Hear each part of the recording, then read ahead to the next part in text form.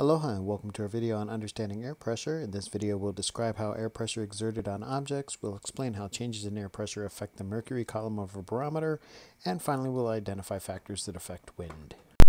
Okay, so earlier in another video we talked a little bit about air pressure and we kind of saw a drawing that looked a little bit like this one over here.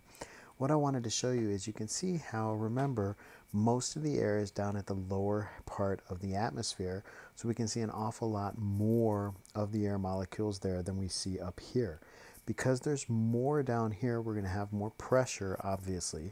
Here we have lower because there's less of that column that's still weighing upon them. If we look here, we'll look at somebody at sea level here, and our individual at sea level is being pushed on by this entire column of air that's pushing down, but it's pushing in all directions upon him. So you can see how he's experiencing more pressure than our individual here at the top of the mountain who has only this small little column of air pushing down, and there's less molecules adding that pressure to him. So we do notice a difference in pressure from sea level as we travel up through the atmosphere. And it's going to be more pronounced initially in the lower level, lower altitudes, because we have this higher amount down here. So we'll see a larger variation quickly as opposed to when we get up higher here where we get a smaller variation change. Okay, so how do we measure air pressure? We use a tool called a barometer. And on this page we can see two different kinds. The first one is a mercury barometer. And under high pressure, we're going to have a lot of pressure coming down. It's going to force this mercury in the pool here to go down. So its only escape will be to go up the tube here and we can measure our high pressure here. If we have low pressure, there's going to be less forcing here, which is going to cause the mercury in the tube to come out and fill in the pond. We'll see the pond level rise a little bit, and then we'll get a lower pressure value there. So a mercury barometer gives us an instantaneous what's our pressure there. The aneroid barometer that we see here, because it has a rotating cylinder, this is going to be turning, and as it does so, it'll record what the changes are in pressure over time. So we can kind of get a picture that way. The way that this one works is we have this chamber of air, and as it's increase in pressure, this chamber gets smaller. As it gets smaller through a series of pulleys and levers, it'll cause the pen here to rise up for high pressure and then to drop back down for low pressure. So one of the interesting things, and we'll learn about pressure here a little bit further as we're talking about different types of air masses, but we'll see that we have our weather maps, and on our weather maps we have these lines which we call isobars. Remember iso is same, and then bar would refer to a millibar, how we measure pressure. So each of these lines are going to be pressure lines, so we can see what the air pressure is and where it is. So here we have a high pressure system here, where we can see represented by this H, and we'll have a low pressure system right in through here as well. And we'll talk more about these pressure systems and how they affect our weather in the next couple of slides and videos. Now, in a future video, we're going to talk about how winds are formed. And basically, what we need to know is that we have areas of high pressure, which means we have a lot of air here. So high pressure has a lot of air. And then we have our areas of low pressure, where we have a little bit less air in those areas. And what we're going to notice is that the air from a high pressure is going to want to move to a low pressure. And that's how we make wind. And we'll cover this a little bit more detail in our next videos. One of the things, if you remember back to currents, we talked about was this Coriolis effect. And we talked about how the Earth is spinning. And because the Earth spins in this direction, if we have a movement of something not attached, like current was water not attached to the surface, or wind, which is the atmosphere which isn't attached to it, then we have this bending effect going on, which we call the Coriolis effect. So in the northern hemisphere, if you can recall, it's going to travel and bend a little bit to the right caused by the rotation of the Earth. So we can see if we had a wind that was blowing from the North Pole to the equator, it would bend a little bit to the right and we'd see that aspect change there. And it's just the opposite if we go down to the southern hemisphere where it will bend to the left. And we can see if we had a wind blowing up from the south, it would do that.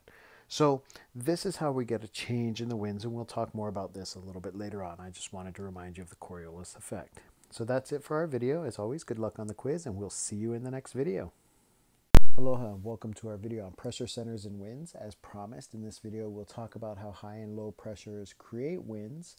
Um, in here we will describe what air pressure patterns are within cyclones and anticyclones and explain how unequal heating of the Earth's surface affects the atmosphere. Okay, let's take a look at this picture showing us cyclonic and anticyclonic winds.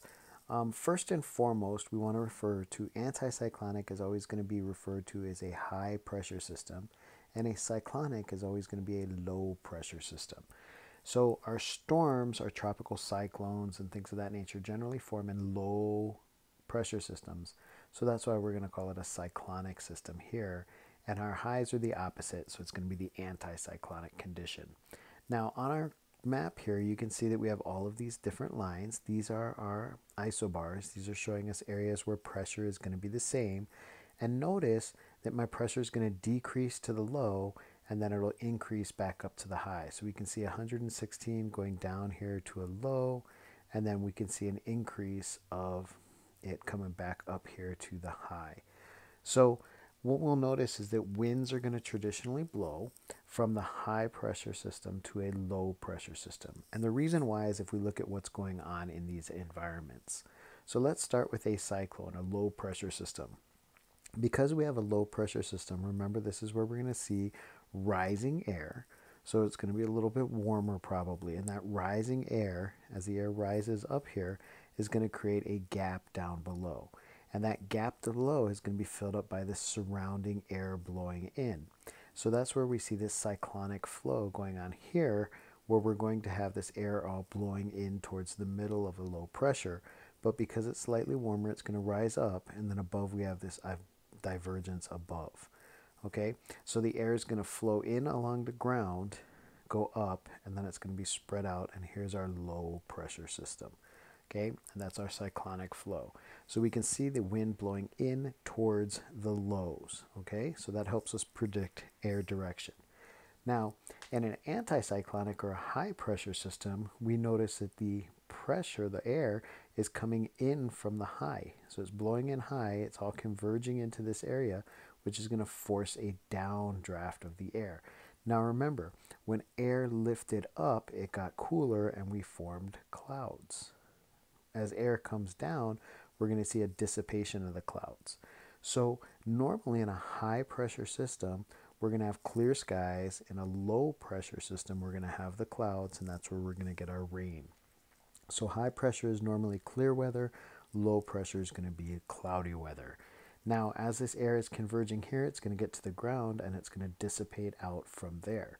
So if I have a high and a low nearby, you can see that my air and we'll do it in blue here, is going to blow into the high area, which is going to cause it to come down. It's going to be a little cooler. When it hits the ground, it's going to blow over to a low system where we're going to experience this updraft and then we'll have that air transfer and we can see these cycles. But on the surface, where we are, is where we'll experience this wind blowing from the high to the low. And that's how we get wind patterns for the most part. Now, highs and lows are going to be regional what we want to look at is what happens worldwide. And if we take our example here, and our key here is it's a non-rotating Earth. So if the Earth wasn't rotating, if it was just sitting there, we would get more energy, more heat coming to the equator, so it would be hot, which is what we see. So now as we heat up that air, it's going to cause that air to rise, which is what it'll do to the end of the atmosphere. And then once it gets there, it's going to bend either north or south. As it travels in the atmosphere, it's going to cool off until it gets to the poles where it'll all converge there. And then at that point, it will plummet down to the surface and then it'll spread out and come to the surface, blow down over towards the equator where it'll heat back up and we get that whole cycle continuing again. And we can see that in our little cycle diagrams over here, where you have the heating of the air here causing it to, over here we have heating and that's going to cause this air to rise. As it rises, it's going to spread out and cool off in the atmosphere until it gets so cold it'll plummet down. When it plummets down, it spreads out and it's going to travel over the earth. It's going to warm up, warm up, warm up, finally get warm enough that they're lifting, and that's how we can see this cycle continuing here. Okay, but as you know, the Earth does rotate, and because it rotates, one of the side effects is going to be this Coriolis effect. So what we'll notice is we have here at the equator, we an area called the doldrums. And the reason it's called the doldrums is because there's not a lot of wind going on there. What's happening is, is we're warming it up, and at the doldrums, the wind would basically be blowing upwards. So there's not a lot of wind there. Now, as it's going and as it's blowing across, the Earth is going to turn. It's going to cause it to bend this way. And as it bends this way, it's going to heat up and rise. So our air is rising up here at the equator. It's going to hit the upper level of the atmosphere, cool, and it's going to dissipate and spread out. So we can see it rising up here and then it's going to spread out this way. As it does so, it's going to get cold, and as it gets cold, it's going to drop down. And we notice that this happens at about what we call the horse latitudes at about 30 degrees north. At 30 degrees north, it's cooled off enough, it's going to start dropping down. And then when it hits the earth, it's going to go one of two ways. It can either go south or it can travel north. Under both of those circumstances, it's going to heat up again.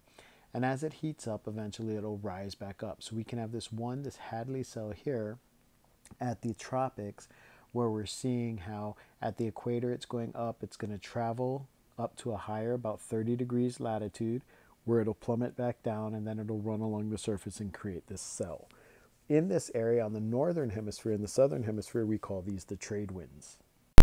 Now, they were called the trade winds because we could send the boats to the west using these trade winds, and that's kind of our direction, and that's why they were named that. Now, if we go above, we have this other area here where it plummets down at the horse latitudes and it can warm up as it's traveling north and it'll rise back up. And as it rises back up, we can get this cell going on here where we see the same thing. of Going warm up, it's going to come here, travel to here, and it'll come back down. Now here, as the wind is blowing north across the surface, it's going to bend a little bit to the right, like we said the Coriolis will do, and that's how we end up with our westerly winds. And if you notice, here's the United States. We're going to have most of our weather in the United States because of these westerlies will travel from the west to the east. So if you watch storms move, they'll go from west to east. Now we have a little bit of rising here going on. As it does so, it'll either travel back this way to the horse latitudes or it's going to travel up to the pole. It'll cool. As it comes down, it'll blow from the pole along the surface. That's going to make it turn into our polar easterlies. So you can see how we have polar easterlies, then we have our westerlies, and then we'll have our trade winds. And the exact same thing happens on the southern hemisphere as well. So these are how we get our global wind patterns. So if I was sailing and I wanted to go from east to west, I might head down south and sail in the tropics that way. But if I wanted to go from the west to the east, I might sail up a little bit more into my mid latitudes and that would carry me across that way using the general winds. And our airplanes will do the same thing.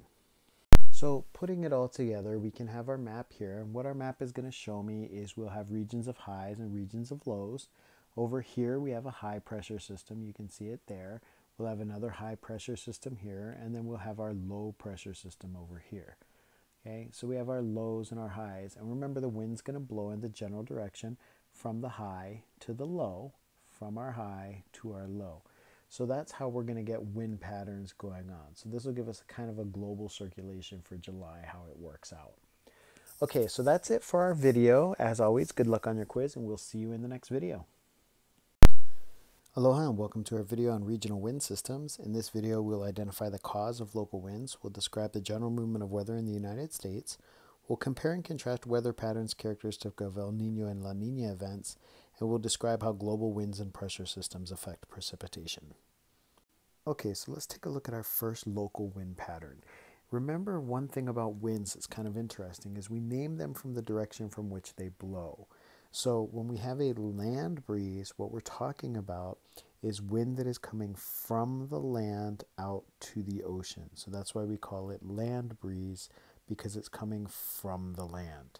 Okay, now conversely, if we have a sea breeze, we're going to have what? The wind will blow from the sea into the land, so it's called a sea breeze. Remember, we name winds from where they come from.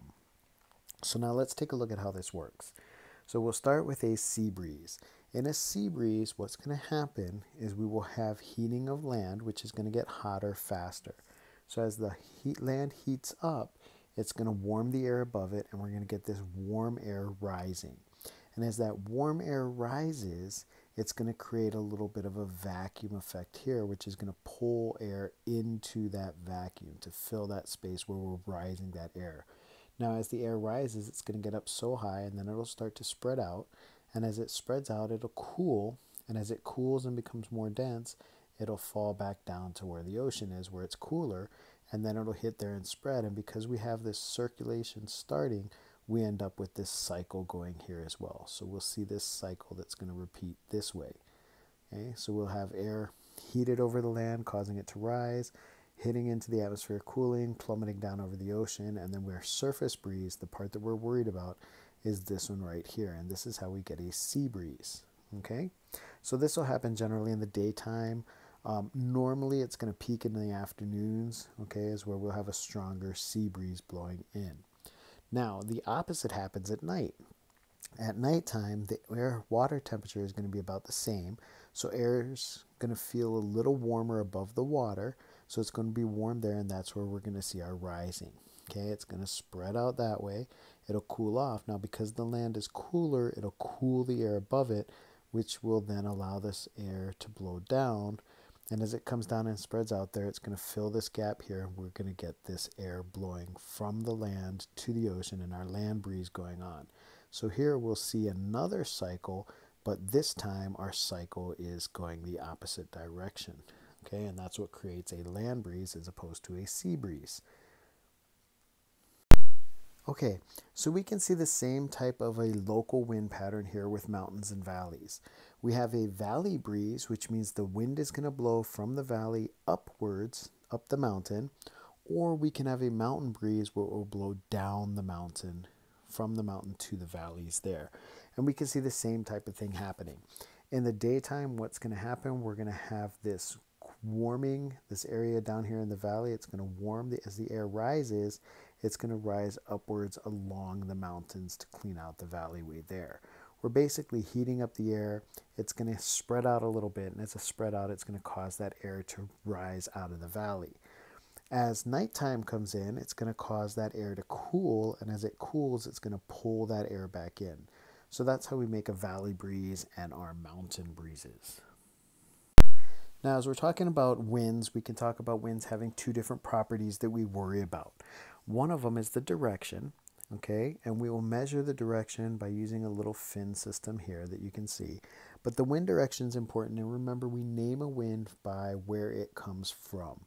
So if we have a westerly wind, that means it's blowing from the west to the east, okay? So remember that wind direction tells us where it's blowing from. We can also measure the wind speed, how fast is the wind moving. So when we report winds, we like to give it by direction and by speed, and that gives us a clear picture of what the winds are. Okay, now you'll hear about El Nino and La Nina. Um, El Nino is really an interesting event. It's one that we really appreciate here in the southwest because that's when we expect a lot of precipitation in the wintertime. Um, the normal condition is shown up above, and that's kind of what a La Nina event would be as well. And here, what we want to talk about is we want to talk about how we're having a warm water, low pressure system over here in Southeast Asia. And that's going to cause our cooler water that's here with the strong Peruvian current. We're going to get strong equatorial currents and strong winds blowing this way. So when we form our storms here, and because there's such a big difference, we're going to get a lot of hurricanes that are going to form this way and they're going to move in this direction. So the moisture that we're forming these storms with is going to move out this way. During El Nino, what happens is we build up so much warm water that it flows back. So as it flows back, it causes that countercurrent, which means we stay warm here, which means now what's happening is we don't get a lot of this wind and currents moving everything out. So the moisture and the storms that are forming here, instead of them going this way, they generally tend to go up this way and we tend to get a lot more moisture. Okay, so when we have our normal conditions here, we generally have a colder winter. If we have uh, these environments, it's going to be a slightly warmer winter, but we'll get a lot more precipitation. And that's going to be kind of good for the southwest where we've been having a drought. Okay, really quickly, let's talk about global precipitation real quick. What we notice is we're going to have our areas here where we have moist, warm, moist air, which is going to normally travel this way. So if we're taking this moist air coming this way, it's going to collide with this air coming in this way, and that's why we see a lot more moisture in these regions than we do over here and over in the desert regions over here. So by knowing how the winds move globally, we can predict a little bit about precipitation, but for the most part, we look for immediate precipitation in the form of weather and storms. Okay, so that's it for our video. As always, good luck on your quiz, and we'll see you in the next video.